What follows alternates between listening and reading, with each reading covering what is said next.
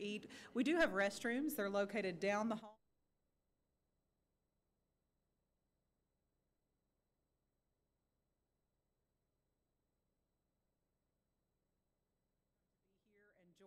I know that everyone has hectic and busy schedules, so I know it's hard to be where you need to be, when you need to be there, uh, but we appreciate you coming, coming out and joining us tonight. To start us off, I would like to um, recognize um, the people who helped tonight, and you see the coalition members that are around on the screens, and they're also here in person, so we're happy that everybody has kind of joined together and joined for- forces for tonight. Let me welcome and start us off tonight with Dr. Jim Rollins, Superintendent of Springdale School District.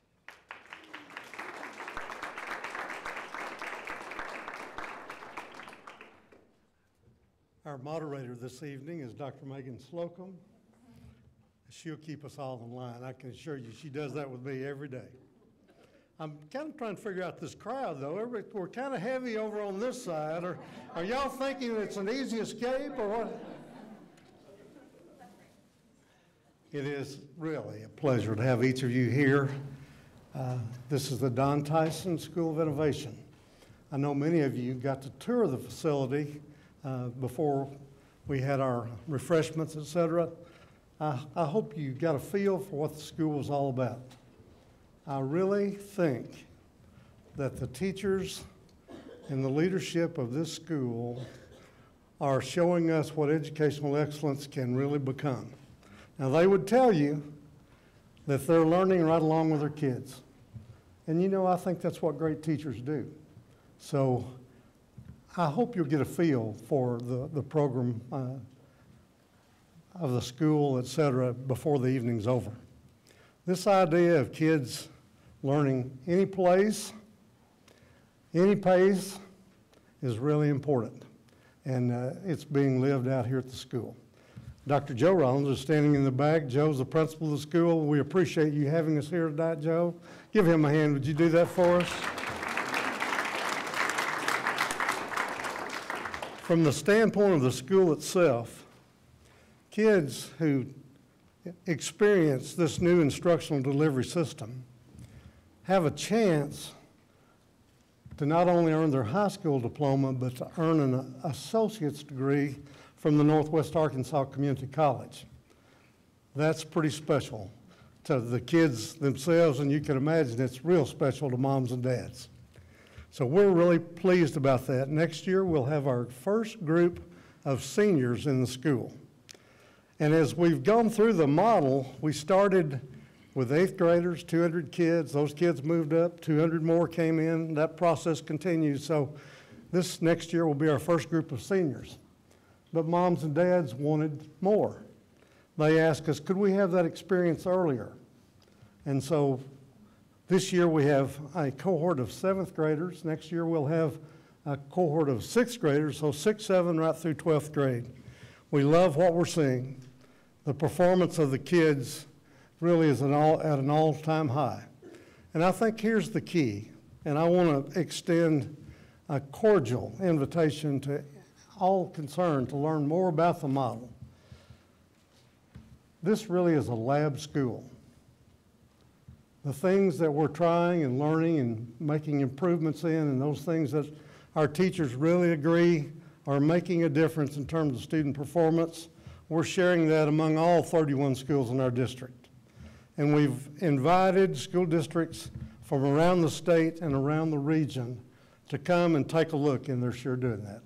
So welcome tonight to the Don Tyson School of Innovation, and try to get a feel for it if you can. Northwest Arkansas is a very special place, and uh, all of us know that. We are blessed to have great schools all around us, great teachers, great leadership in the buildings all around us. And uh, to be a part of that, I expect every educator in the room would say it's an enormous privilege. I want to extend the uh, opportunity for another very special educational leader to just help with the welcome tonight. Mary Bell Childress is our principal at Monitor Elementary School.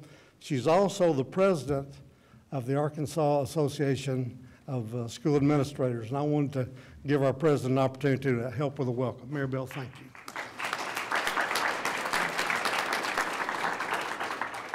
Thank you, Dr. Rollins. I want to just thank all of you for being here tonight, to being a part of this great celebration. Who doesn't like to celebrate success? And I want to start just by asking any of you that play a role in educating children in Northwest Arkansas, would you raise your hand so we can see who you are and, and where you are? Just like you, I choose to be a principal in Springdale schools and in Northwest Arkansas. I choose to have my four children educated in the public schools of Northwest Arkansas. There is no other place that I would rather work and serve, and there was no other place that I would rather my children be educated and have the opportunity to learn and grow. I um, have been a principal in Springdale now for over 20 years, 20 years of learning and leading, and I can tell you we have never done it better than we are doing it right now. Um, just this week, I had a reporter from outside of the continental United States call me, and the question she asked me um, was pertaining to a specific subpopulation of students and she said, Tell me what you all are doing different to educate that group of children. And I paused for a minute, and then I gave her an answer I'm certain she um, was not helpful to her in her article. And I said, We are not doing anything different to educate that group of children because every single student in my school gets a unique and personalized education based on exactly who they are as a student and as a human being. We get to know that child. We know what that child's strengths are, what their goals are for the future, what their dreams are.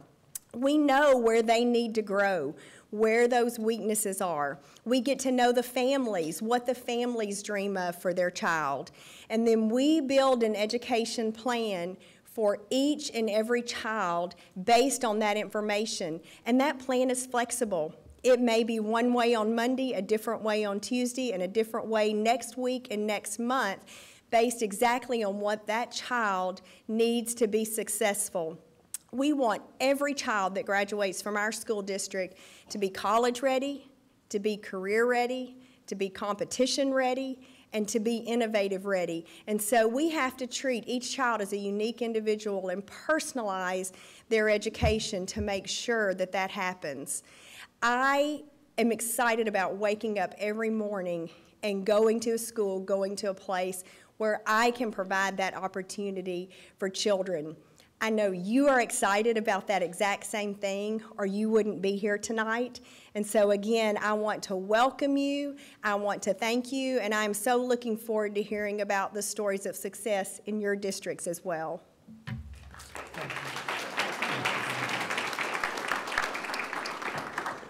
I want to close my welcome in this way.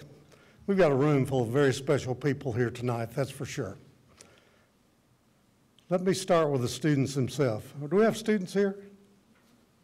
We're so glad to have you. So glad to have you. Mary Bell's already recognized our educators, our teachers and principals. We're so very, very pleased to have you. I look across the room. Let me give you this, let me kind of give you this idea. You've all seen it before, but think about the power of collaboration, working together. Collaboration trumps isolation every time. We've all heard that. But the more we can enjoy it and experience and think together about what works and, and even what doesn't work, the farther along we will all be. So, teachers, we're very proud of you, and principals, we're so very proud of you. We've got a lot of special leaders in the group that who serve in legislative roles. Can I ask our legislators to stand? I'm really, really, and legislative candidates. How about how about legislative candidates? Stand up. There we go.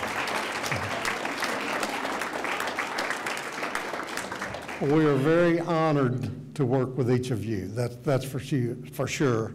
And thank you for your service as well. This is an important night. We've got a great story to tell. The districts in Northwest Arkansas want to share that story with the audience this evening. And so, again, thank you all for being here.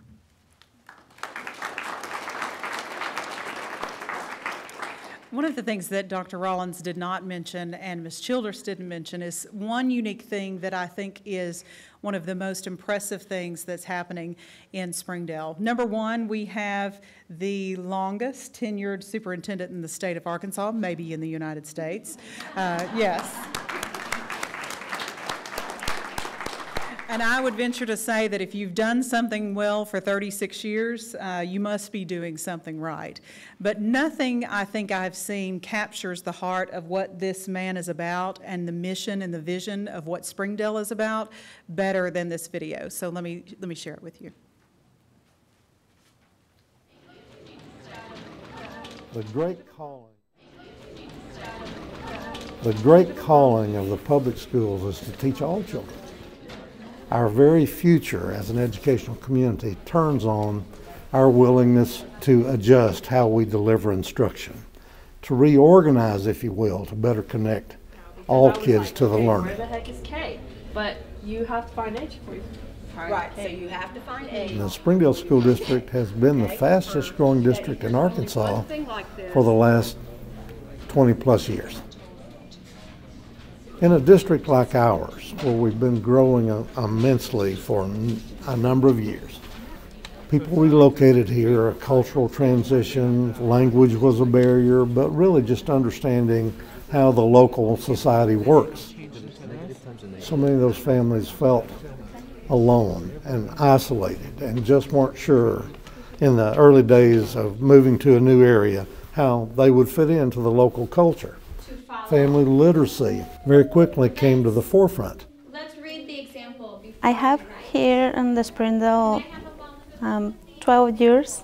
I have four children. I come to class because it's necessary to learn English. I help to my child with the homework every night. Was time on the hospital, my child was sick and don't, don't have interpreter. The doctor told me, uh, your child needs uh, operation because he has uh, appendicitis. The next week, the, um, I say, I need more English for my children, for me, but for most, most for my, my child. Four days a week, four hours a day, moms and dads are invited to come into the school, sit right at the table with their child. What a beautiful experience that is to see immigrant families working with their children, learning to read together, learning the language together.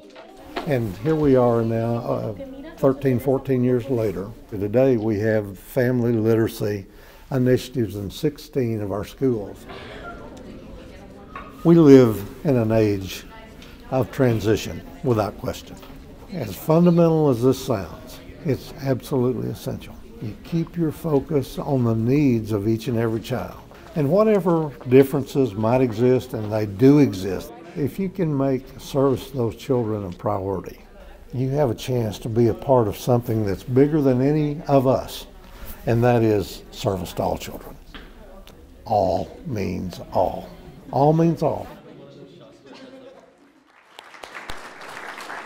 Isn't that great? Every single time I watch that video, it's just chills because it doesn't happen in other places. You don't see that type of partnership happening. And just the vulnerability, I can imagine when you started that program as a, as a school leader to say, I'm going to open the floodgates and you're going to come in and we're going to learn together and we're going to learn at the same time, at the same table, and sometimes at the same pace is just so exciting. So if you ever do get a chance to come and visit, that is a, a program we would love for you to be able to kind of see and experience. It truly, truly is unique. I'm going to introduce now Mr. Mike Mertens. He's going to give you an overview of all the fun that has to, has to do with the Arkansas Association of Educational Administrators, AAEA. Thank you.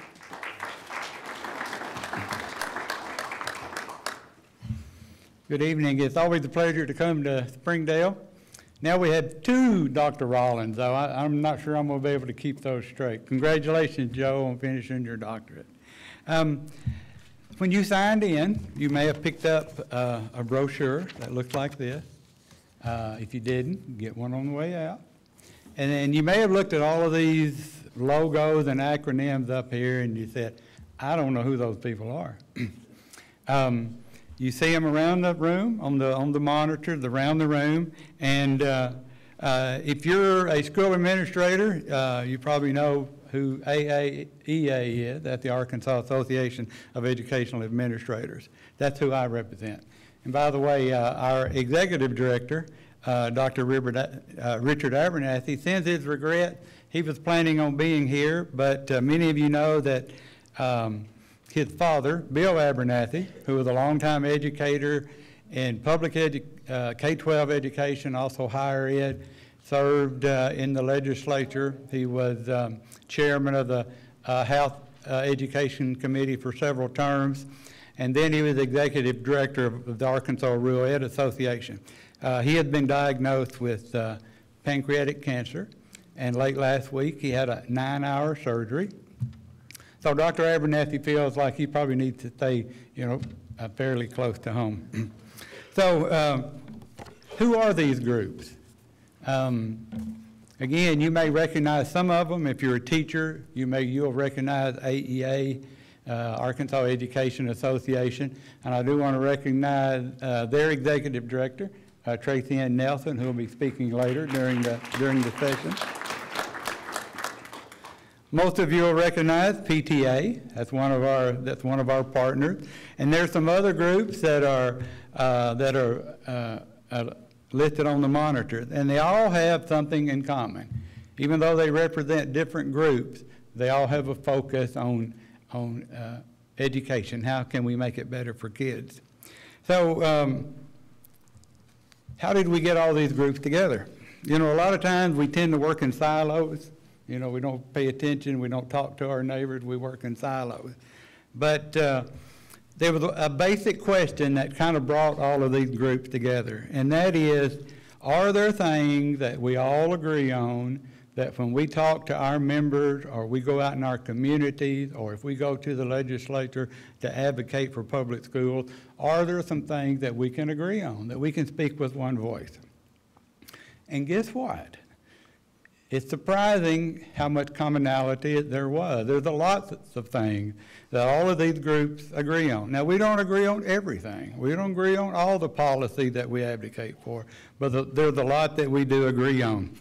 And it is remarkable that you can come up with a similar set of recommendations or goals that uh, we think will provide our, our state's children the excellent opportunities they deserve. And it's not just the, the groups that we talk about today. Um, uh, the Walton Foundation, uh, the Winthrop Rockefeller Foundation, you know, they do, they advocate for public education, especially through an organization called Forward Arkansas. And a lot of the goals and their policies that they uh, outline would fit right in with the group that we're talking about. By the way, we do have a, a, a name. We, it's not really official, but we do call ourselves, when we're getting together, we call ourselves Arkansans for Quality Education. Um, so that brings us to why we're here tonight. Um, you will hear about many of these proven successful initiatives tonight from our participating schools. and while it's happening in northwest Arkansas, there's no reason that Arkansas shouldn't be implementing these proven uh, practices statewide. Now, there's, this document is very specific about some of our recommendations, some of our goals, but they kind of fall into three broad categories. And one of them is that above all, we all need to promote student-centered learning environments for our children.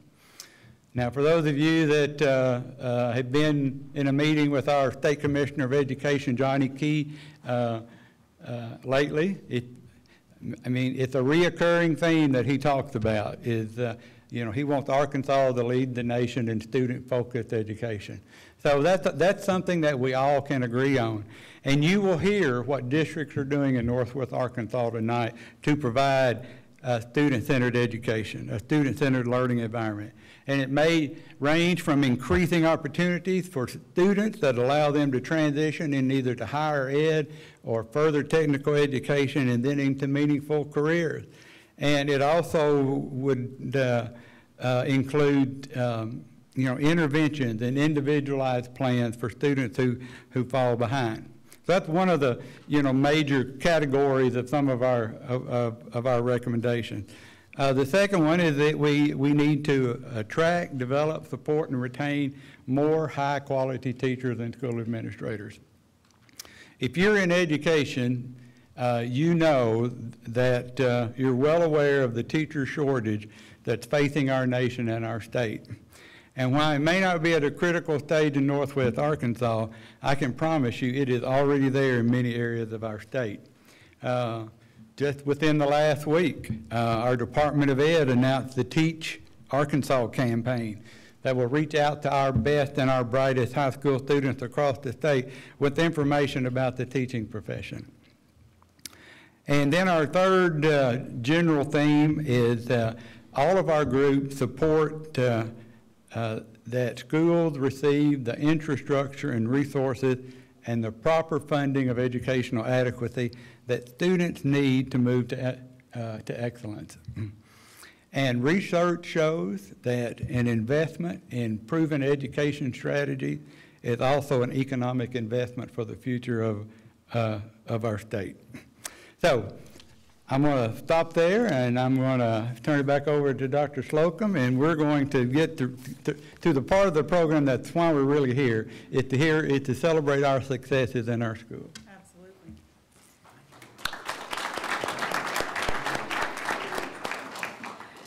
We have a- an amazing group to share with you. We've got the Pea Ridge School District led by their superintendent, Mr. Rick Neal, and I think he has some students to introduce also, so we will turn it over to you guys. Okay. Thank you, Megan. Dr. Rollins, thanks for uh, allowing us to be here, and and Mike for asking us to uh, be able to present uh, your true inspiration. I always tell that to everybody I see, of the work that you've done and the work that uh, you continue to do uh, for all of us and lead for us in Northwest Arkansas.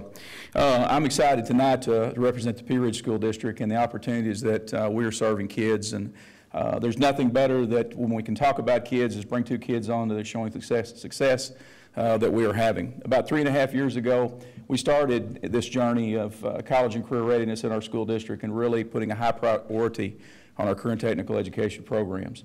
Uh, the success that we're having is going to be shown tonight, and, uh, and that gives me an opportunity to introduce Ms. Kathy Seeger, our logistics management uh, director and teacher.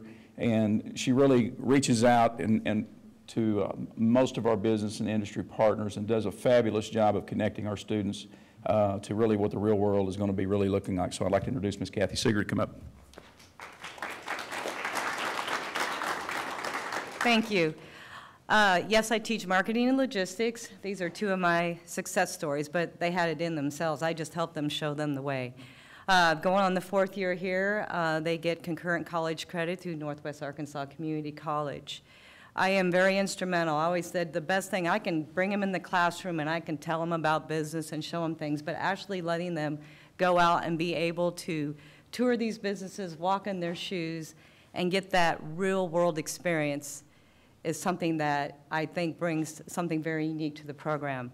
These two young gentlemen work at JB Hunt, and they need to get back to work because JB Hunt was very, very kind to let them come out. So I'm going to show you the video, and then feel free to ask them some questions. Thank you.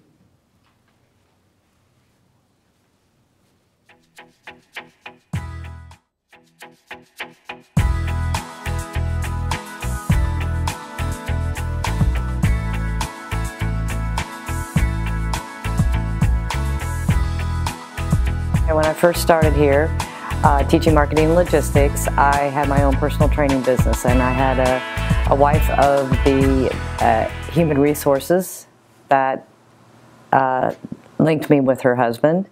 I got with him, and then he directed me to Jackie Lawrence. So this started four years ago when Primba was, was when Primba was started. Um, from that relationship, I built through Jackie Lawrence, and since now there's actually Ashley Bloxham. Um, I take my students twice a year the first year students go, they get an overall tour of JB Hunt. They put together an amazing presentation. We get a tour. We get to actually see what the ins and outs of what it's like to work in the transportation business. Then the second semester, uh, their, uh, the first semester of their senior year, which is the second year of the program, they get to go a job shadow.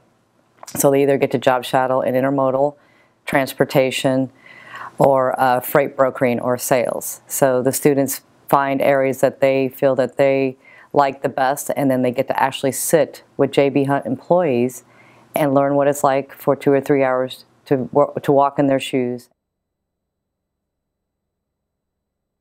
Since that relationship has started, uh, Ashley Bloxham came uh, up to me at the beginning of this year and said that we want to start a program for high school seniors that uh, we feel that can come and work there and get the experience they need. So my first uh, associate is uh, Brett Kirby. So I, I spoke to him in private and I knew that he had the qualifications that they were looking for and the time because a lot of the students are in athletics and things like that. So I had to find somebody that could actually go in at 4 o'clock and work till 9 or 10, whatever they established. Brett went in and interviewed. Um, and then he had to uh, pass a background check and all those sort of things. And then he was hired, I believe he started in November. He was not quite 18 yet. And Ms. Seeger brought up the idea of, hey, JB Hunt might be hiring somebody if I can get into it and look into it with customer, um, not necessarily customer service, but human, human resources is who she went through. And she did find something for me. I've seen a lot of things like opportunities in JB Hunt to work up and higher up into the management levels. And everybody that I know that's worked at JB Hunt says that it's very easy to do that. Uh, if you have the can-do attitude and you work hard enough, that's definitely something you can do. Well, I do graduate May 22nd, and around that time, I'll be hitting my six-month marker with JB Hunt. So that means that I do qualify for tuition reimbursement, I believe, with JB Hunt. Me and my friend Hunter White, the other one that works at JB Hunt, we both looked into it. We thought about maybe it'd be cool to do something for college and have JB Hunt pay for it, and we go back and help JB Hunt whenever we graduate. That way we have a steady job when we come out. Well, for a while at Miss Seeger's marketing logistics class, we studied professionality. So we go through handshakes, we go through formal greetings, how we should act in the workplace. And I've learned that over my life. My grandparents taught me to be mature in the workplace, that if I work somewhere, it's to my hardest ability. So it kind of tied hand in hand with that. But um, definitely Miss Seegers would help. I would recommend going through that pathway if you are looking into a um, professional business job in the business world to go through Miss Seeger and learn professionality because she's the best one to do it so far. The second associate is Hunter White. And Hunter is how basically I got with JB Hunt through networking, and that was makes me so proud of him. Is he came up to me and says, "Hey, I know that Brett is uh, working at JB Hunt, I would like an opportunity to do that. So I reached out to Ashley again, and in the interim, he said, Well, his parents have a business, and he said, Well, I know a wife that knows a person that knows a person that knows a so, person. So I saw my buddy Brett, and he got the um, opportunity through a job shadowing. We went and he went to interview, and so I thought, well, you know, I might as well try the same thing. So I got in contact with my dad's buddies, and um, my dad's buddy Tyler works. Um, well, Heath works at JB Hunt. Tyler, his wife, is a senior advisor. So I contacted him. He told me to contact her, and then um, she gave me advice for different emails to email. And then uh, I eventually had a meeting, and then um, after that, it just worked out, and had my first day.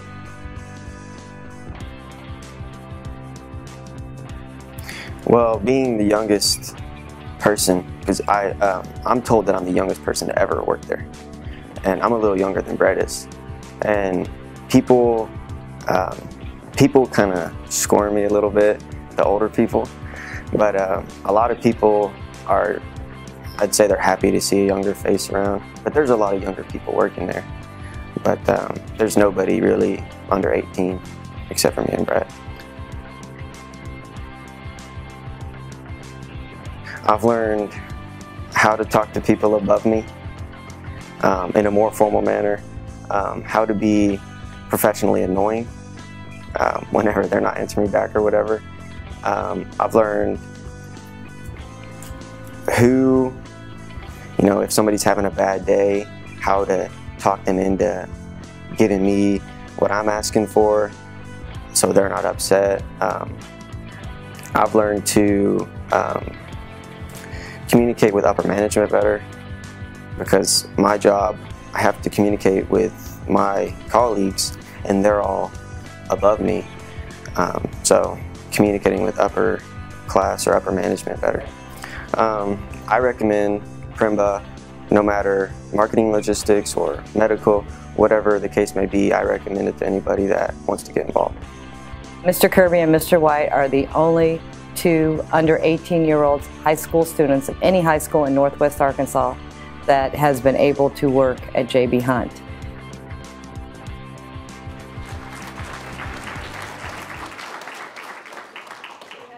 Do you have any questions? Do you have any que, these guys, uh, have any questions? What's your job, Hunter? I'm a load spinning specialist, so I uh, work in partnership development, and I communicate with uh, outside carriers and uh, in-house people. And Brett? Um, I work with trailer detention teams, so I'm a utilization office specialist. I'm, uh, making sure JB Hunt's trailers are uh, properly taken care of and seeing that they're appropriately charged through any company that uses JB Hunt. What's going to happen to you if you stay with J- JB Hunt and continue your education? Um, if we continue, like me and her planned, um, maybe to take, uh, NWAC courses for two years, if we plan to go there, we can also work part-time still at JB Hunt and get an education, so that'll definitely help us out. Like we said, we even know JB Hunt might be able to help us out with financials in case that's a problem. That's college and career. How many hours a week are you working? I'm working 35. Yeah, and, um, I don't have as open as a schedule. He gets out around twelve twenty to eleven twenty every day for, uh, work release through Primba, but, um, I get out at three twenty every day. I'm a full-time student with part-time job, so I get out at three twenty, go home and change, then drive down to Lowell, and it's a heck of a drive, but I work, I'd say roughly twenty to twenty-five hours every week. Yes. Yeah, guys, what would you uh, say to your classmates or students that are younger you to encourage them to follow the same path that you're doing? Um, I would say that you should definitely take the chance. There's sky's the limit, pretty much. I mean, you can do it whatever you want as long as you're, you know, wanting to do it. If it's something you're not too sure about, I wouldn't really put your full 100% effort into it. But if you're almost 100% sure, then go for it. it. It sky's the limit, like I said. I would just recommend to uh, get inspired now, and then um, work your hardest, and um, don't stop until you feel like you've achieved what you're wanting to achieve. So tell us a little about how you manage um, your academics and work simultaneously. Um, I'm in online courses, and so at home I can work, or um, at school we have time to work too. Like I said, I'm a full-time student, so I'm um, part-time online for some classes, and then others I am physically in a classroom. So um, it does take a lot of time. I'm usually home by 9:30, maybe 10 o'clock every night, and then I stay up till maybe 12. But I mean, I'm a high schooler, so it's it's bound to happen. yeah, but um, it's yeah. It's easy to keep up with. If you know how to manage your time, time management is definitely something you need to look at and be good at if you're going to plan to work and be a full-time student. Thank you.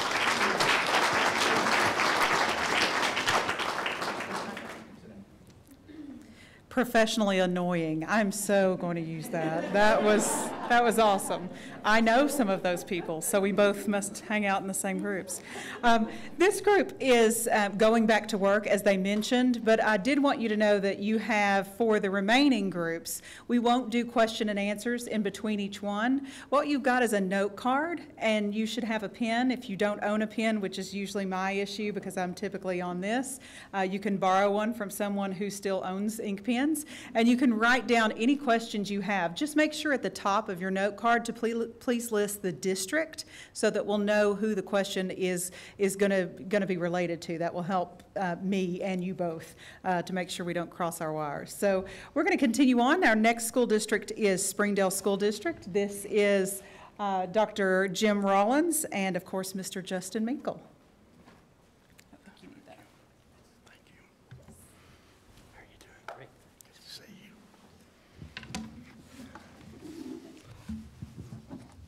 Very good. How about giving this superintendent teacher another hand? Would you do that?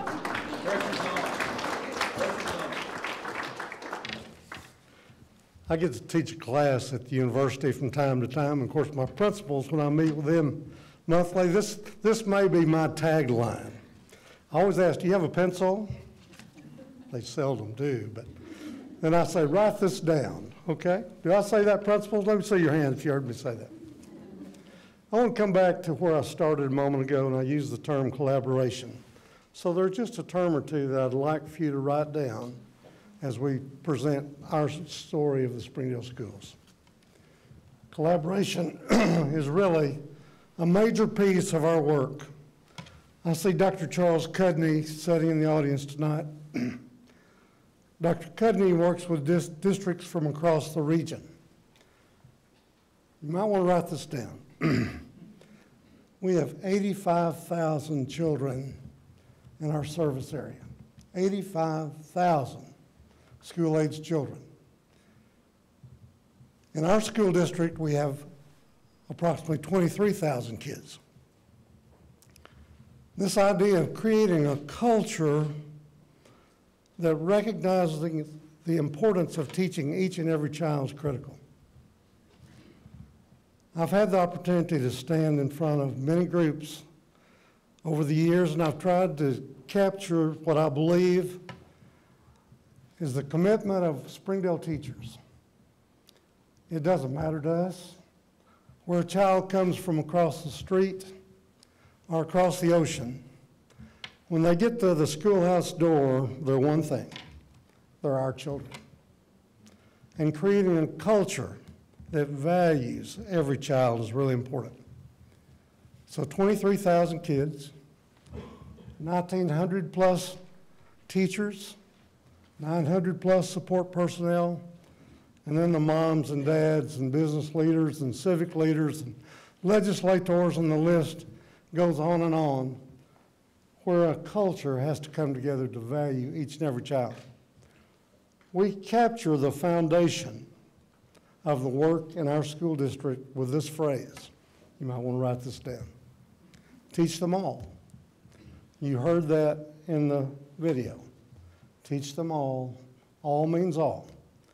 So for each of us, certainly the superintendent of schools and the principals and the teachers and the support personnel, if you can bring the work of your schools together in such a way that every child is a priority, you've done something extremely special. We do a lot of great things in our school district. The thing I believe we do best is take care of our children. So that starts with knowing where they are in terms of their readiness to learn. And then all the talents of our educational team bringing their best thinking together in terms of how to serve those kids. It's really important that you create a system, a structure, where the input of every participant is valued. I've already talked about our teachers, I've talked about our principals. I want to come back to our teachers. From my point of view, some of the very best leaders in our school system are our classroom teachers. And so if you can create a system by which they can think together about reading, literacy, numeracy, the social well-being of our children, you've got something very, very special going on.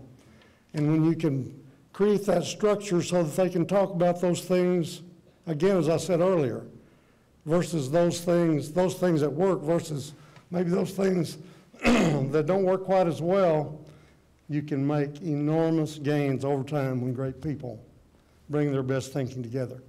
I've asked Mr. Minkle, whom I consider to be one of the great teachers of our time, uh, to talk with us just a moment from the teacher's point of view about that culture building process, about the systems that have to be put in place to give every teacher a voice to bring their best thinking together in terms of the work that goes on in each of our schools. Justin, your thoughts? Hi, everybody. So I want to ask you to close your eyes for just a minute and picture a child who you deeply love. It can be your son or your daughter, a niece or nephew. It can be a grandchild. And then I want you to think about what you want for that child. Okay, you can open your eyes. To me, that's what equity is. And it's so easy to slide to adequacy and decide that as long as we can get them to a certain cut score on a certain test, we're providing them what they need. And what I see as being really different in this district is we're helping every child to live the lives they dream, and that's the goal. And we see test scores as a means to an end. You know, one of the things I think about data is it can be really powerful, but it can also obscure individuals. And what I love about Dr. Rollins is I think he doesn't see 23,000 students in this big stadium. He sees one child and then another child 23,000 times. And that's incredibly hard to do. I think even as a teacher, it's hard to see those 25 kids as individuals and teach them as individuals. You know, when I became a dad, it really changed the way I saw my job as a teacher because I was sitting in a conference. They were telling me, you know, your child got a 194 on this MAP score and 186 on this MAP score. And I thought, I don't care though. Like, what I want to know is do you see my child, right? Do you see my child? What are her strengths? What are her needs? And the test scores are okay, but that's a, that's a means to an end, and it's a tiny piece of it. So what I've seen us do at my school, which is 99% poverty, Jones Elementary, is really take this journey from this kind of idea of adequacy, just what are their kind of reading test scores, what are their math test scores, to what do they need to live the lives they dream long term. And beyond that, what do their families need in context? So, you know, we have a clinic in our school. Um, we have a parent university that provides parents information on nutrition and gang violence prevention, um, immigration issues. I mean, anything that is on the parents' minds. And so, what I've seen is that we're really helping to meet the needs of not just the students, but the students in context of their families. And I think that's been an amazing thing. Um, you know, the other thing I would say is we have this initiative this year that is district-wide that's amazing, that's really building a love of reading. And so kids are not doing a lot of worksheets, they're not doing a lot of textbooks. Every child has a classroom library with amazing books. And Dr. Weber and I were talking earlier about how important it is for books to not just be windows, which is huge, but also mirrors where kids can see themselves. So we have books that reflect kids' identities and experiences, and they're reading real books, and they are getting to those really high levels, but it's starting with where they are as a reader, um, what they care about, and building that up. And what amazes me is I know how hard that is to do with 25 kids, and we see it happening at every single elementary school. And you know, my last thought, kind of, we're talking about collaboration, um, is you know, I remember former President Clinton having this great line that there's nothing wrong with America that can't be cured by what is right with America. And that's what I see about our public schools. We have huge challenges, um, we have huge demographic shifts, and what amazes me about Dr. Rollins and about the principals in this room and the teachers is that when we had this huge influx of immigrants from other countries, it was never seen as we're going to divide us and them, and it was never seen as let's keep them out. It was let's welcome them in and let's find a way to teach all kids better. I think Dr. Rollins made a really eloquent case for things like this gradual release of responsibility that got kids doing the talking and kids doing the learning. This is good for every kid in the district, and, and it is tailored to English learners, but it helped kids who are native English speakers become more active in their learning. And I think that was this really amazing thing to see. Um, but what I think we've seen is that to build that kind of system, um, we have to look at our strengths. And so a lot of times I observe other teachers in our building. Um, this morning, Cameron next door went over to Parson Hills so he could learn from some things that they do well. And the last thing I want to say is just really a thank you to principals, because I think to do this kind of work, you have to balance coherence throughout an entire system, like this project with the books, where every elementary school is doing this, with professional autonomy. And so, you know, I was on a committee in Little Rock once, and we were talking about trying to give teachers more collaboration time. And someone on the committee said, but how are we going to monitor and compel them to collaborate during that time? I said, well, you know, in my district, we really try to hire people we really respect um, and then kind of support them to get better. But if you don't trust someone to collaborate during that collaboration time, we can't trust them with 25 children or 150 children. And that's what I see in this district is a culture of mutual respect, you know, really building on our strengths and then really thinking from that parent perspective about true equity, you know, not sliding down to adequacy, but what would we want for our own children? What does Dr. Rollins want for his own child? You know, and then really making that a reality for every one of those 23,000 kids, and at this forum, really all 85,000. So Dr. Rollins, I'll stop there if you had more you wanted to say, but thanks for the invitation. Thank you very much. Give him my hand. Did you do that? I'd like to just close this way from our point of view, and again, I talked about 85,000 kids in our co-op area, if we do our work well, and we've got so many, many great leaders who are trying to do that, great teachers that are trying to do that, and partners who are in, invested in that process. If we do our work well, if we can help every child realize their true potential and promise, that really is a gift of a lifetime. Horace Mann said it this way. He said, the public school is America's greatest invention. I believe, I believe that's truer today than ever before.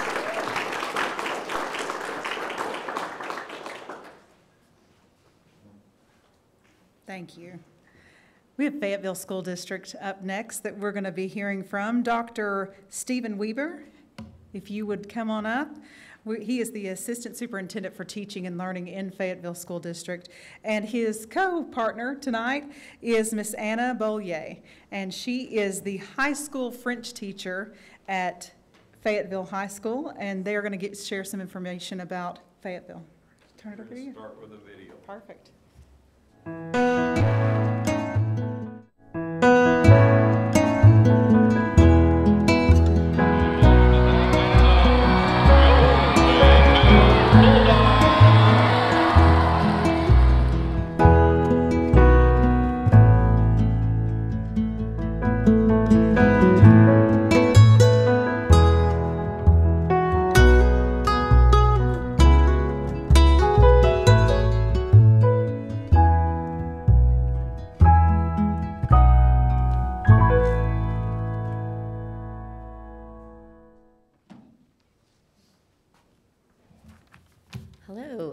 Um, first, I would like to extend my thanks to the organizers of, of this event. I'm inspired to see such a large group of people in one room, all in support of public education. Uh, my name is Anna Beaulieu, and I am the president of the Fayetteville Education Association. And what, what? Um, and I am a French teacher of 18 years with the Fayetteville Public School District. And I think by that simple resume, it is safe to say that public education is my business. I love public schools. Um, I believe in public education and I support my fellow public educators. I stand proudly for public schools and I will always vote for public education. Um, Fayetteville Public Schools have been killing it uh, for quite some time, 1871, and I could not be more honored to tell you why. We serve around 10,000 students every day, which for some larger districts here, Springdale, that might seem a drop in the bucket. Um, yet to those smaller districts, you might be saying, thank goodness our bucket is not quite that big. Um, but to me, that number represents 10,000 curious minds who walk through our doors and look to us, the educators, to teach, to inspire, to, to challenge, and to encourage. And we have the unique opportunity to light a spark, inspire a passion, um, and present a path not yet considered because we hold the belief that all students, all students can succeed, and that all students should have equal access to the tools with which to succeed. So, how are we doing? Um, if you'll indulge me for a moment, I would like to give you just a few of the many accomplishments of Fayetteville secondary schools. I'm excited to share with you that just last night, um, Ramey Junior High was notified that their school is a diamond school to watch. Yeah, that's awesome.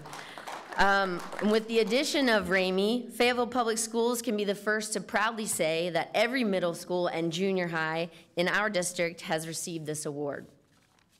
In 2018, uh, in the 2018 senior class of 695 students, the top 50 students have an average ACT composite score of 32. The top 100, a 31. The top 200, a 30. The top 250, a 29. We have 11 National Merit finalists who've already been offered $352,000 by the chancellor at the U University of Arkansas. 36 current FHS seniors have received the Arkansas Biliteracy Award for demonstrating proficiency in two or more languages.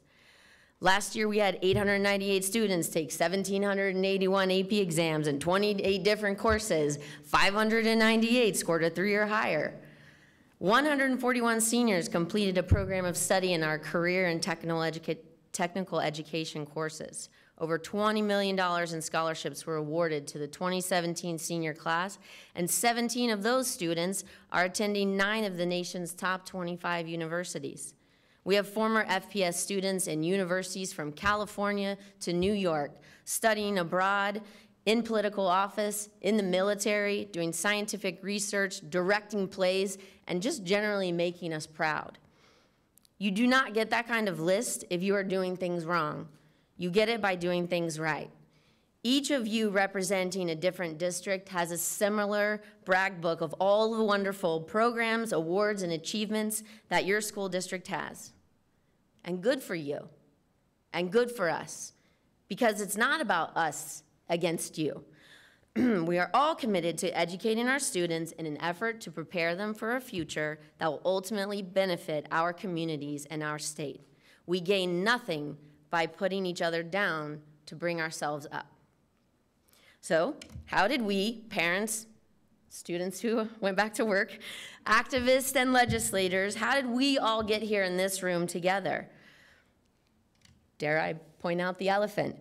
Uh, we can no longer afford to operate under the false assumption that because our school is built, they will come.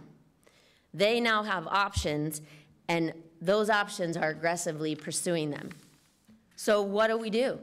Where do we go from here? In Fayetteville, we have worked hard to, ha to have the educator's voice heard. We, who better to offer input to implement strategies, to develop PD, and to, to, propose innovative solutions than the educators who are in the trenches with our students on a daily basis.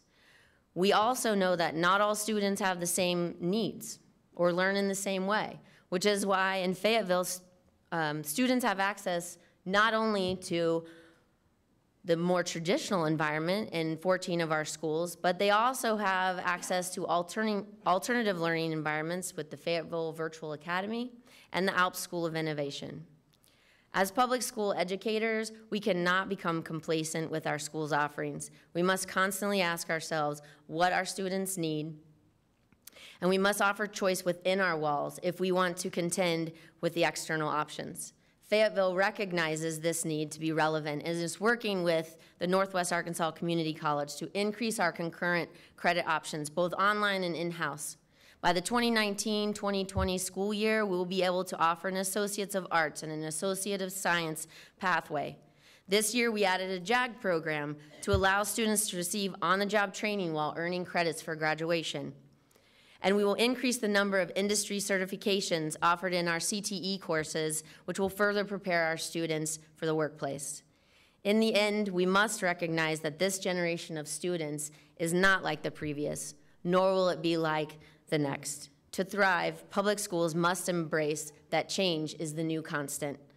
The future is bright. Vote public education, and thank you for your time.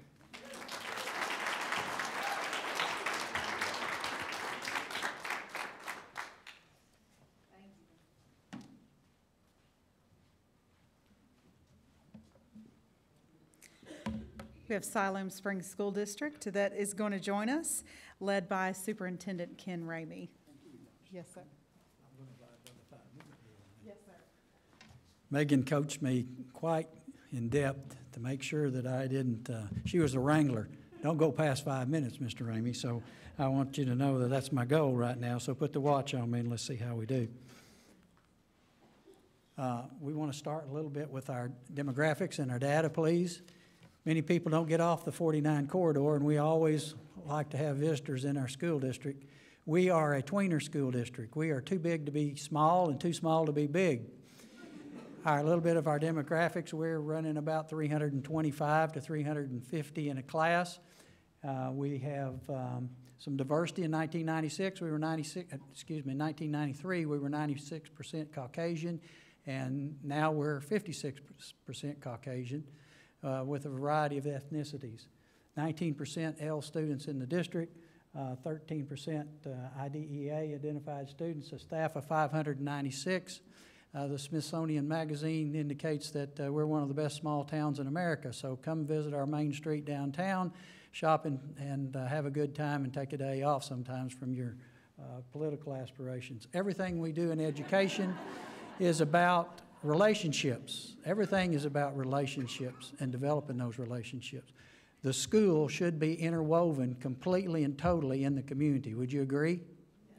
To be supported, we have to give our community and their most, our parents, their most valuable product, which is their children, and we must meet those individual children's need with the love and the compassion and the dedication and the fact that we do not want to lose one child along the way. So I want to talk a little bit about K-12 education, and uh, these are our partners I've listed down here on the right, but they're also our major employer, employers in the community. We are big in a K-4 initiative in our district, in the reading initiative certainly led and in, uh, taken off by our governor through our commissioner, but we have put an, a significant amount of dollars into interventionists, into facilitators. Uh, for the RISE initiative, we have a district trainer. We've been working with the state uh, Department of Education, have been in our district multiple times to work with us uh, on preparing the way. We haven't started our teachers through that process yet, but we have all of our facilitators, interventionists, and our leadership. Uh, STEAM classroom, we started two years ago at kindergarten level. We moved it up this year to the first grade level. Next year, we'll take it to the second grade level. Gives us a whole class enrichment experience for our children at early age and see if we can't meet their needs and develop their skills. When at the bottom down there is what I need now. That's an intervention program that we do grades one through eight, making sure we don't leave any child behind and working daily in a situation where we intervene and regroup those students every day to figure out how we can serve them best. Uh, we do have the accelerated science. We started in the sixth grade this year. It's working wonderfully for us. We took some time to get some training, so we moved that six, seven, and eight. We have the first true middle school in northwest Arkansas in 1993, and we're still using that concept for those children in the mid levels. Very important. Uh, you can see introductory classrooms, vocational. We are huge in Siloam Springs in the focus on vocational education. We have a lot of industry and a lot of manufacturing. It's hugely important. We went out in the community and asked for $2 million from our community to build a building and uh, did some work in regard to our partnerships to uh, fund and, and staff that facility to make a difference for kids and career opportunities. Uh, again, interventions. We have the picture is with the piano lab that we have in the fifth grade in the, for, our, for our music program. Uh, our high school's been on a block schedule for 23 years, and we love the block schedule. Uh, we think it serves the needs of our kids. We converted our entire high school to a charter, a conversion charter school, which gave us the opportunity to be more flexible with how we embedded courses to serve kids so we could open up some opportunities for uh, career and technical. We've started this year with the blended personalized learning piece, and we're at varying degrees of success with that, but we're working with Summit platform in that area.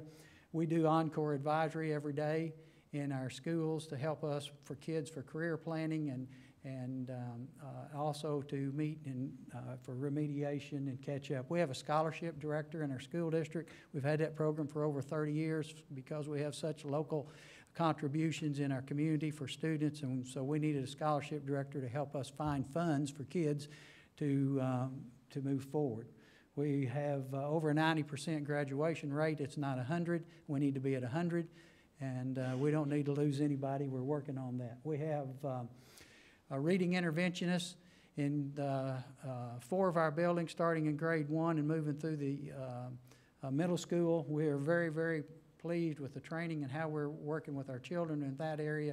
And then we have the uh, instructional facilitators that work with our teachers. So we're doing that in a systematic approach. I hope that uh, uh, you can see the vision of that. Our, we we move moving towards planning and implementation of one-on-one for computers. And the Adopt a School program, we have 20 to 25 businesses that have adopted each school, and they partner with us. So we, we had a bingo night the other night simple as it may be, had 650 people at a bingo night, and we did that in Spanish and English and had a wonderful time. You have to get your, your families and your children in your schools on non-academic time to build that relationship. That may sound silly to you, but we were excited about that. Um, got to get that. Okay, guys.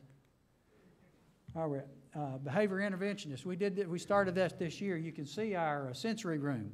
This is in our pre-K uh, kindergarten building, and we've seen some uh, change over in our students coming to school and how ready they are to learn.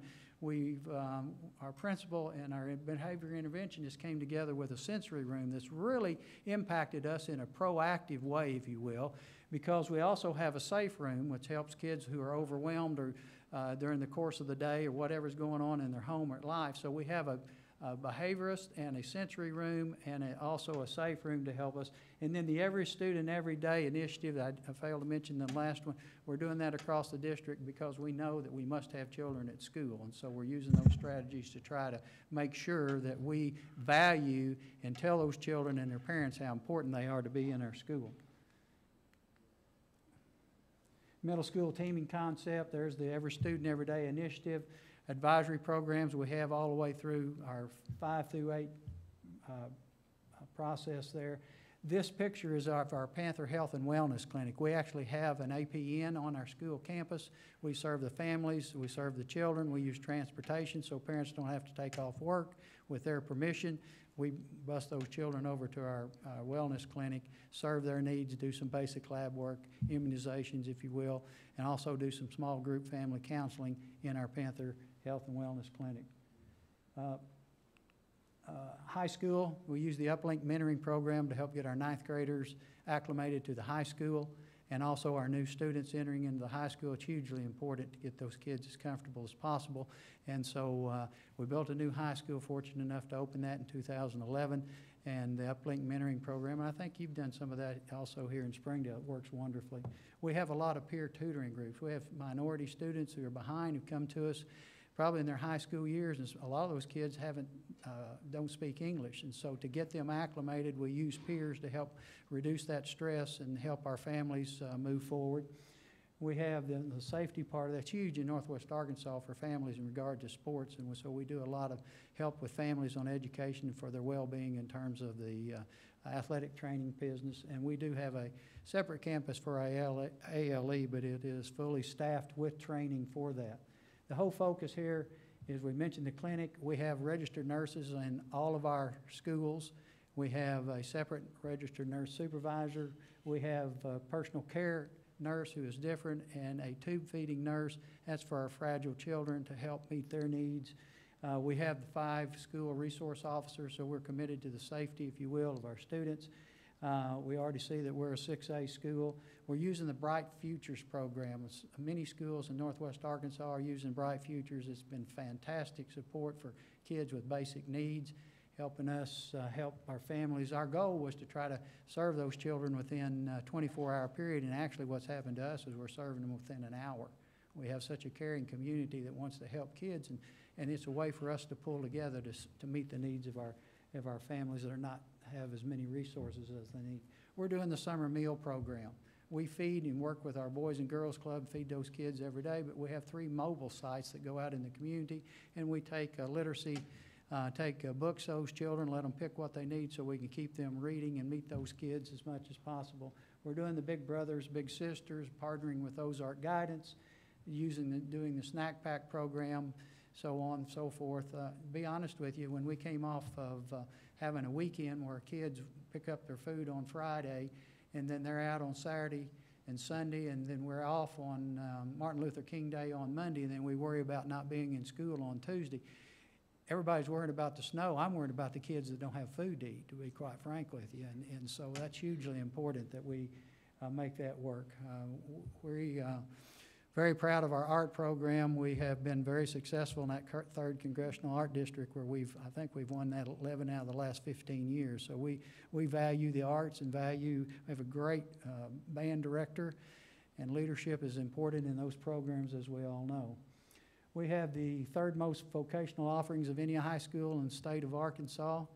I know Springdale's number one, I know Fayetteville's number two, and we're mighty proud to be number three. So uh, we also, with our CAS program, our Career Academy, and with the conversion uh, charter at the high school, we were able to open up the first industrial maintenance program in the state of Arkansas, and that's that $2 million building that has created so much opportunity for our kids. We're doing Project Lead the Way with the engineering and architecture, and we have eight businesses partnering with us on the internship program that we've started this year. Um, Another thing that we wanted to show you is our, uh, our the bilingual customer relations program. Children who have two languages are, have a great advantage, and we want to capture that skill for them to show them that there's all kinds of possibilities for their future. So we use that to help get kids out in the community and realize that they can work in the medical field, they can work in the banks, they can work in all kinds of professions and use that second language as a way to, for them to grow themselves and give them more possibilities. We're doing a social media marketing class, the AVTF. We open our board meetings every uh, month with a seven-minute video from our AVTF where our students produce it, write it, and uh, we do three different segments. That allows us, for our board, to be up to date on a variety of programs, but it's all done by the students, which is, we think, is fabulous and been very positive. We've not doing like I saw down here in the hall when I took the tour on the drone program, but we're in that program right now. Our teacher's certified, and we plan to take that off next year. Uh, small business entrepreneurship, we plan on using this next year to capture from social media all the way down to bring that together. And we want to market that out in our community and see how businesses can use those different groups and coordinate that so it makes a win-win for the kids, for practical experience, for our community members to get some of the skills that, that maybe help promote their business. Um, oh, and I wanted to say one other thing. You see this student right now, this month is Career and Technical Month. And uh, we promote our career program simply by having the students promote themselves, if you understand what I'm saying. And so we've got a variety of these posted all over the school. So younger students, we want those kids in that career program, and that's how we help get that done. Okay? Thank you all so much. I, Megan, how'd I do? Come on.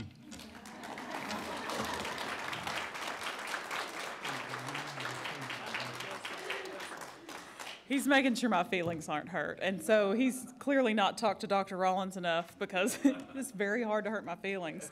Um, I, I want to remind you, you do have note cards. If you do have questions, please jot those down. Just make sure you relate the district that the question goes, goes to.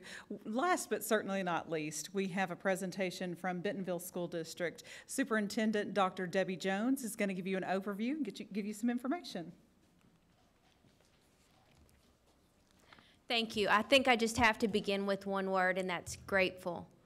I am grateful to get to be here to work with such outstanding colleagues and educators. Uh, this is the best place in the world to teach, to lead, to learn, and uh, I'm just grateful. I want to share just a little bit about Bentonville Schools. If we're up, there.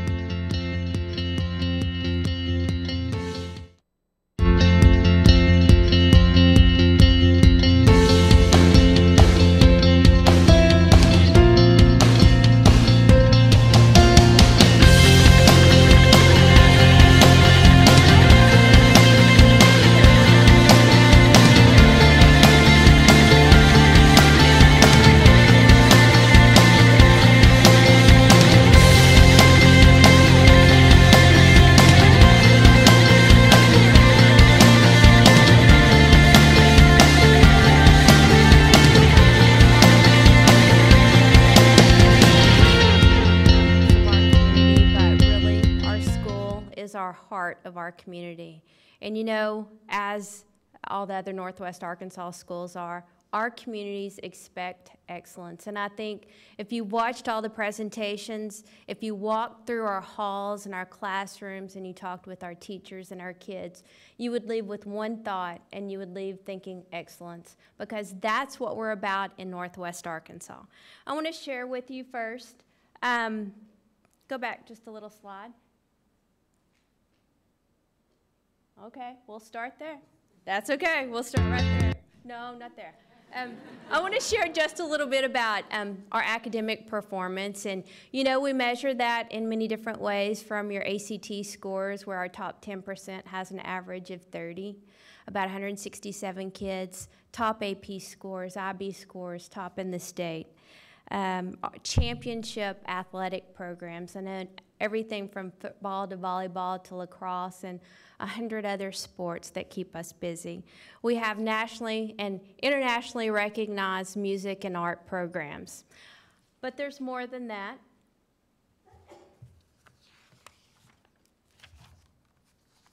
I think they're having a little problem. Success is not, not y'all. I know it's a technical difficulty. Um, success is um, more than winning. It's so much more than test scores and all of those things that I cited. When the superintendents get together at our co op meetings, we don't discuss who has the highest ACT score, who has the, the most AP test scores in three, fours, or five. With this group of colleagues, we talk about what's best for kids, what innovative programs we can do for kids. And we talk about serving each child within the district and providing opportunities for kids. Of all the things that were mentioned in those schools and ours, um, the opportunities that our kids have in our schools now are amazing. Orchestra starting at the fifth grade, over 75 clubs for every interest that you may have at each one of our high schools. Over 25 AP classes and IB classes and concurrent college credit classes. There is just a menu of opportunities, and every student has their niche. Every student can find something, whether that's robotics, whether that's uh, tinkering within the school, creating. We have a place for everyone. When schools talk about personalized learning, public schools do that best because we can offer all kinds of opportunities for students. If you look a little bit, this is amazing. This is one little glimpse of one little sheet of our CAPS booklet. You read across and you look at some of those maths, aside from all of those con college concurrent and the IB, and the AP Calculus, and the AP Statistics, and the Algebra 3, and the Quantitative Literacy, and it goes on and on and you look at each content, public schools do that best. When we talk about personalized learning, there is that specific academic class or interest class for every one of our students. How can we do this? This is how we do this with outstanding and qualified and loving teachers. If you look at public school teachers and you look in Bentonville, for example, over 60% of our 1,300 teachers have at least a, have over a master's degree or higher. They don't get in a classroom, get their teacher certifications, and get satisfied. They continue to learn, they continue to lead, and they continue to love. They get better all the time. They're committed to their field. You know, Public education gets a reputation now of testing, and that's what we're all about. And while we are accountable and we do want we do want results. That's not really what it's about. If you walk into our elementary schools, you see these very qualified teachers loving these babies. They walk into an environment where we really support creativity. Um, this is a kindergarten class I walked in this year, and that looks like play, but that's really not play. The little girl, their little team was building a mouse house, but she said they ran into a problem. They couldn't figure out how to make a door for their mouse to get into their mouse house. And so the teacher said uh, to the other groups, Do y'all have any ideas for them? So the little boy from the Lincoln Log Center came over and said, Yes, you can do this. And I'm like, I never would have thought of that. They're so much smarter than we are, but the creativity is a daily task in our school, not test prep. Moving on into the middle school, this happens to be a little middle school club that's at Brightwater, and they're learning about culinary arts from real chefs. And you'll see standing behind them their proud principal, Leslie Lyons. But this is just one example. They have cooking club, they have auto club, they have math club, they have every club that you could think of. Why? Because we know at middle school it's important to see the whole child, to engage them, to develop their character. Moving on, this is one of my favorite students, West High School, Sabo, Sebastian Caniglia. He is a leader. I first met him when he spoke to our Rotary Club. He's a devoted football player who uh, also leads when we move our kids from elementary to middle. Public schools have this reputation of being so big. But we're very responsive to that. When they move from each level, we have our student leaders and all of our teams prepare a home for those kids to make them feel comfortable to know that this next place is going to be your home. They also are models of character. They say, This is what uh, West High School is all about. These are the standards. And we know that within our halls and within our schools, we're developing leaders, we're developing citizens. We're developing patriotic students who are proud to be in our schools and proud to represent Bentonville. And then within Bentonville schools, we also are very proud to offer plenty of career opportunities with our Ignite program. Our Ignite program and others, within our Ignite program, we have eight different pathways. And if students want to study IT, culinary arts, construction, global business, medical, and many others, um, they not only earn concurrent two and a half hours a day, they go to Brightwater to learn culinary arts. They go to the floor of Walmart and learn how to code for two and a half hours a day. And when this program, program began, Walmart said, we'll take a couple of those kids. And now they're trying to get every one of our Ignite kids that they can get. Why? Because they have proven results. And our students step up to the challenge. When they're asked to do adult work, they produce adult results. The real problem with Ignite is that our kids never want to go home. They want to go code at the Rev unit, go take their classes, and then go back and code after work. You see, they're driven and they're engaged, and we found that personalized interest for each one of those students. This happens to be a photographer in our graphic arts class in IT. These are two of our students. You see our female in IT, and we're always recruiting more. They, this is the floor of Walmart. And while they sign confidentiality agreements and they can't tell us everything they're working on with Walmart, um, their reviews from Walmart are very good. And those are two of our start students. This one is now working in virtual reality, the female on the left. We know, we get our task, we understand, and I think you saw this from the committed educators that work with me. We understand that we're building tomorrow for these kids, and we're putting everything that we have into the kids to be successful. And we understand that task, and we're living up to the challenge. And so it's been an honor to share just a little bit about Bentonville with you tonight, and have a great evening.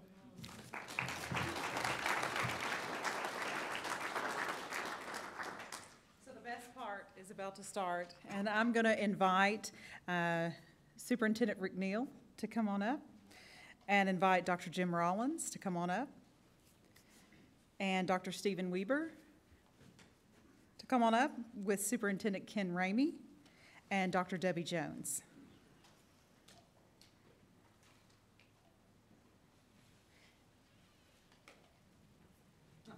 There we go. We'll improvise. There we go. Teamwork. So you had some note cards. If anybody has any note cards, if you will, just lift them in the air and we're going to have someone come by and pick them up. You can pass them down to the end if you have any. She's coming around that way. Perfect. So we're going to have a little question and answer session to make sure that uh, if you have any questions or answers, we're going to ask you to fill that in. Before we do that, I want to make sure that we recognize everyone who's been a partner here, and we've talked about the coalition members that are there. And I want to recognize, uh, you may have noticed her, she's strikingly beautiful uh, as, she, as she walks into a room. You can't miss her. Uh, she is going to give you an overview of what AEA is all about, and I hope you, that you'll take a moment and welcome with me Ms. Tracy Ann Nelson.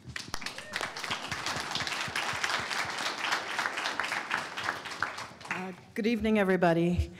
And um, thank you for having me, Dr. Rollins, um, Megan. I want to recognize a few people in the room because without them, this would not be absolutely possible. Our goal with this was to lift up the work of everybody in the community to speak about the good work that we're doing in public schools throughout our state. Um, I want to recognize PTA who's here, Trina Kudlow,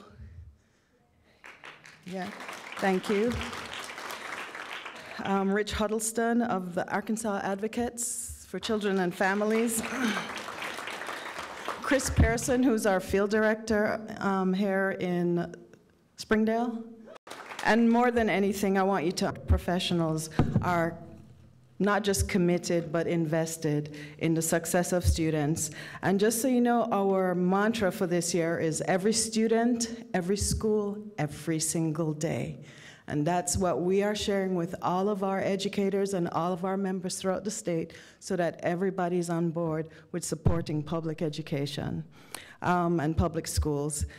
Also, you have a publication that we put out, The Educator. It's a quarterly piece, and in this, this um, quarterly, we talk about the future is now and the embracing of teaching with technology in public education. Uh, Dr. Rollins talked about the power of collaboration, and we certainly are a part of that. And with our partners, Arkansas School Boards Association, our administrators, Rural Community Alliance, the Arkansas Rural Ed Association, and others, we continue to talk about the good work everybody in this room is doing on public education. So thank you very much.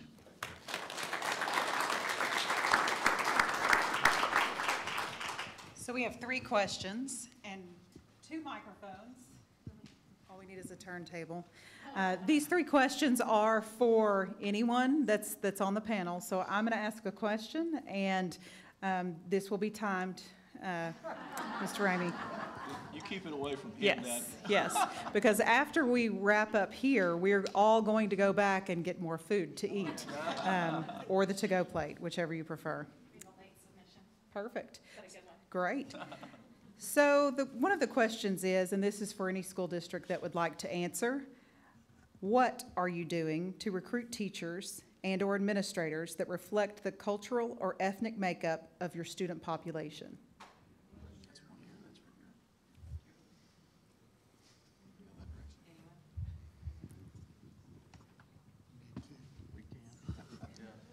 We're going to the schools, so we're going to universities in other states and job fairs. We're going to Kansas next week, and we're going to different schools and just recruiting where the students are. Um, not as much diversity coming out of the University of Arkansas when it comes to the School of Education. There's more mm-hmm. diversity in other parts of the U of A that you see mm-hmm. on campus. So we're, we're going to new schools that we've never tried to reach out to before. I think in the past we were solely getting most of our teachers and administrators from the University of Arkansas. Mm-hmm. It's a slow process, without question. It's been our experience over time that we can be most fruitful when we grow our own, when we have individuals who actually live in the community or committed to, uh, committed to the community, who understand the culture of the community, who see the contribution that great teachers make Do any of you give parents any credit for your success?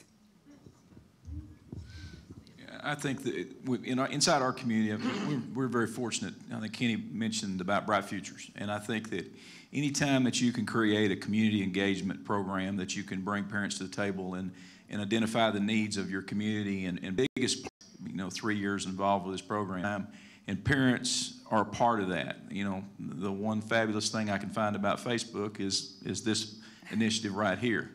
So as we're moving forward in that, the parents are so connected into what, what's happening in the district by that piece of community engagement and how it brings everybody together is one of the big platforms I know that we have in our district. And, and I think that we can say that we um, recognition because uh, they when they bring kids to school and they're involved in any way, it certainly leads to the success of those children. Whether it's watchdog for dads or whether it's working on the PTO, they play a critical role not just in one or two, not just the PTO, and not just as one-way communication, us talking to them. They're critical in our success within the district, and we recognize that. We've also, through our uh, Panther Health and Wellness, we've had uh, programs where we brought in grandparents, opportunities for parents to join together at night, and we talk about dyslexia and some of those kind of things. I think it's the lifeblood of your, and I think I mentioned the trust that you have with your parents, with your community. Uh, That's, has to be uh, paramount. And so, any way and every way that we can link up and communicate effectively makes a winner for our children. So it's a partnership, it has to be. Thank you. To any district, every one of these presentations has focused on the best, the lawmakers in the audience, that you need funding and talk about your challenges of not having that. Wonderful. Why?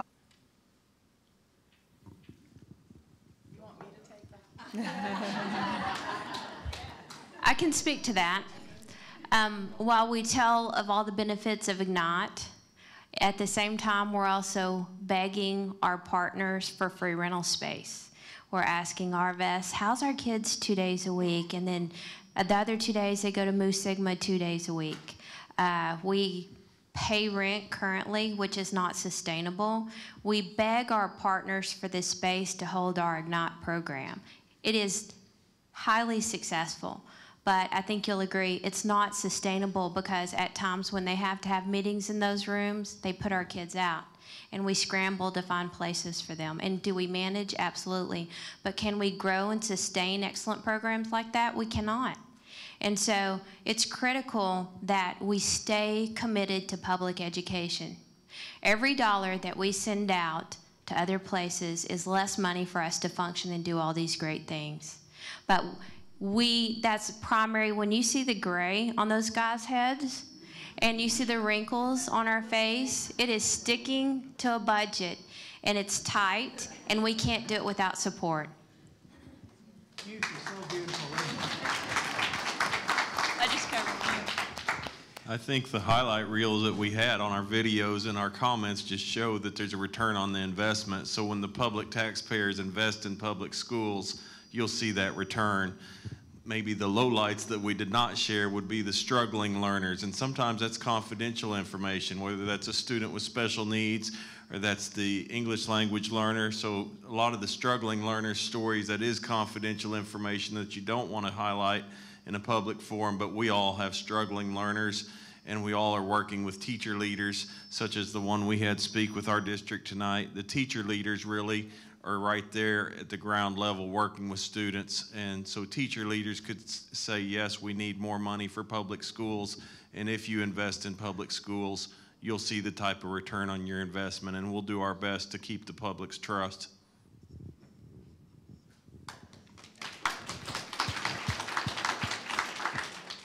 but from the influence of high dollar interest groups in our communities that are trying to divert resources away from public education. Most of those schools have a specific clientele or a specific mission. I think we get labeled sometimes the easy statement when we say one size fits all. That's not public education. You have to have heard that tonight in all the different presentations. We must serve every child, meet their needs, and do it with, the, with all of our love, compassion, dedication, because we have severe needs that reflects our society in our public schools. When we have specific charter schools that get to pick, they call it lottery, but it's not, and they get to choose, and we leave out special needs children, we leave out children with, that have transportation issues or that do not uh, other have food security issues. We're really a one size fits all. We're only looking for one type of client, correct? And that's not what we're about across this country.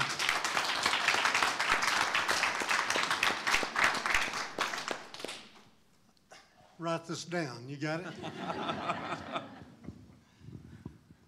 what was the number I gave you earlier? In ter- Y'all are good, good. 85,000 kids.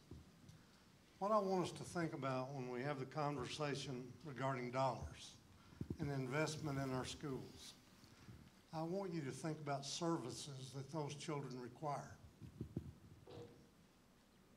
Many of our children live in poverty. Many of our children have special needs.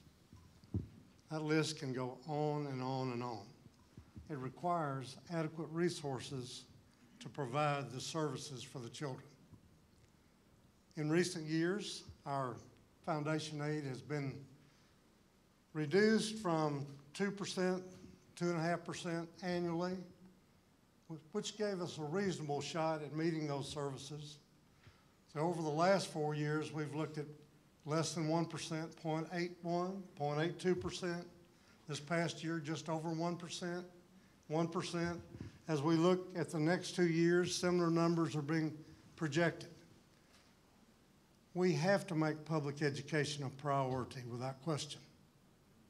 We've talked today about, I was so pleased to hear Rick talk about his career and technical programs and Debbie talk about those things and gave great evidence as did Ken, and, and certainly we could do the same. There's a great resurgence in our state right now about improving and elevating and investing in career and technical. All of us would be great advocates for that need. But I guess my plea would be as we think through that process, and I know we have legislators in the room, we can raise this side of the equation up. But if we let the other plateau or fall back, in my opinion, we would have accomplished little or nothing. Clearly, the state is a partner in this process, as are local communities. And if you look at the local communities uh, in, our, in our region specifically, local communities are making an enormous commitment, investment in their public schools.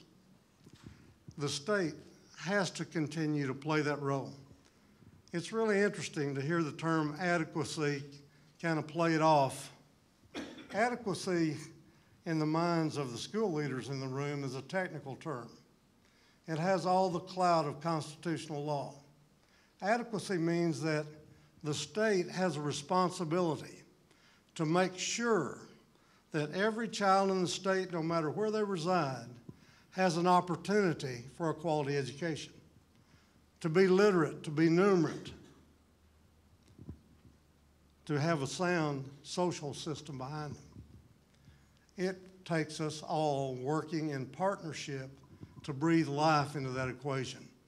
I think our appeal would be for everyone in the room who cares deeply about our children and the public schools that serve them, need to remind all concerned that we have to do this together. Local government has a role, state government has a role.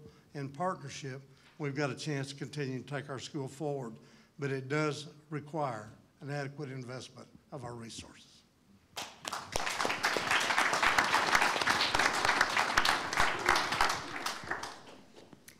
Did anybody have, else have anything? I hope that you have enjoyed uh, joining us tonight. Before I turn it over to Mr. Mike Mertens with AAEA, I hope that you will look around. We have had some students who have been here uh, streaming this live and working very hard to do so. They've got the camera set up, and so uh, they've gotten everything together along with our technology team. And there are two hardworking ladies that are outside that have food that they're going to put in your purses and or pockets, which whichever. And in the back, I know we recognize Dr. Rollins as principal, but I would also ask that Dr. Rollins stand again as principal, Miss Ann Martfeld, assistant principal. Mr. Mertens, I'll turn it over to you.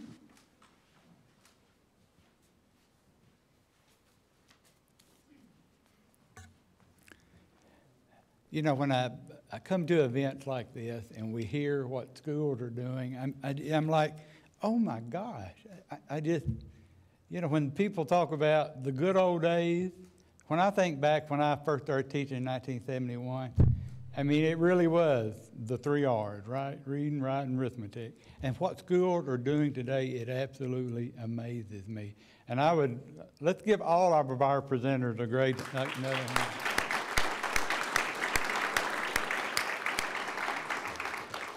So I, I do. I want to end with. Uh, we had a question about parent involvement. So uh, we heard from lots of educators, uh, but so what do our parents think about public schools? So I have a poll, and I know we think, oh my God, polls! Look what happened to all the polls that came out during our last, you know, presidential election. You, you didn't know but uh, I, I, put some credit in this poll because they've been doing it for 49 years. And that's the annual poll. It's, it's a collaboration between Gallup and, and Phi Delta Kappa, and it's the annual poll of public attitudes toward public schools. They've been doing it 49 years. So the 2017 poll, The number of Americans who gave their community public schools an A is the highest it's been in 40 years. Yes. And public schools get their highest grade from those who know them the best, and that's public school parents. You know, if a school is not doing well, well, it, it's the one down the road. It's not, it's not the one that my kid attend. And what do parents want? I mean, that was part of the, of the poll. Uh, Americans overwhelmingly support investments in career preparation and personal skills to ensure that students are prepared for life after high school. We heard lots of examples about that. Most Americans say schools should provide wraparound services for students who need it the most. We heard about interventions. Most public school parents expect their child to continue their, uh, their education after high school, but that doesn't always mean a four-year college. It could be some other type of training. So um, I'm not going to keep you any further. I appreciate everyone that, that came. Uh, I appreciate Springdale for being the, the host tonight. You know, when I, when I reached out to all these schools, they said, well, what do you want me to say? And I said, well, just tell us what you want to share about your school district. They were all a little bit different, but I think totally they did a great job. So thanks to all of y'all, and thank you all for coming, and have a safe trip home.